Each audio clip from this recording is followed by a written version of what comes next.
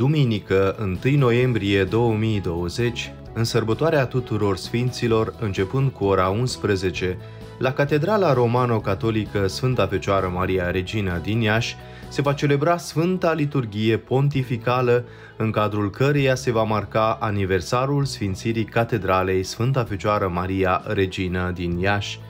Se împlinesc 15 ani de la acest moment important pentru dieceza romano-catolică de Iași.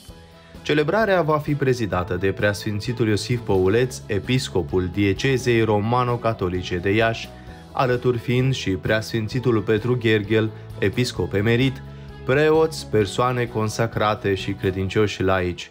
Evenimentul va fi transmis de către Ercis Media pe Facebook și YouTube, transmisiune preluată de către TVR Iași. De la ora 9, Ercis Media va realiza o ediție specială cu invitați care vor prezenta și rememora ceea ce a însemnat înălțarea acestui edificiu pentru comunitatea catolică din Moldova și importanța unui astfel de locaș de cult.